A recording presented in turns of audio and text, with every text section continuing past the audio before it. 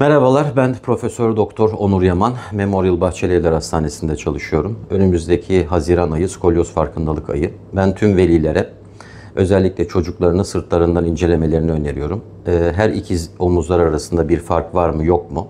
Sırttan omurgalarına baktığında bir eğrilikleri var mı? Ve özellikle de e, kalçalarının üzerinde bir diğerine göre yükseklik ya da alçaklık var mı? Mutlaka incelemeleri gerekir. Özellikle çocukları da hafif öne doğru eğdiklerinde ee, sırtlarında bir diğerine göre bir hafif yükselti var mı yok mu mutlaka incelemeleri gerekir. Ve böyle bir durumla karşılaştığınızda bize başvurmakta lütfen çekinmeyin.